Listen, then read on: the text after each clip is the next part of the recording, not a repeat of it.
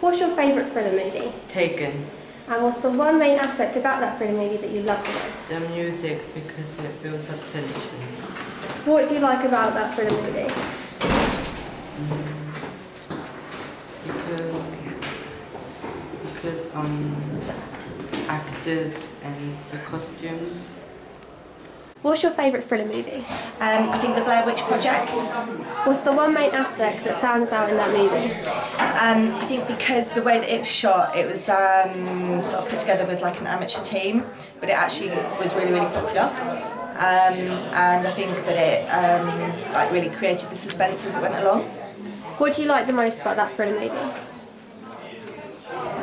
Um, I think just that it made me jump so many times. I watched it at the cinema, and um, and it was like a really really good atmosphere because everybody was was you know like totally unexpected when when the scary moments were coming, um, and then just how it ended as well. Um, I didn't really um, have any idea how it was going to work out, and I thought it was really good. What's your favourite thriller movie? Um, Reservoir Dogs. What's the one main aspect that stands out in a thriller movie? What do you like about thriller movies? Uh, I like the tension and the atmosphere, and I like it when it's got a little bit of a horror side to it. Um, and I really like the costume.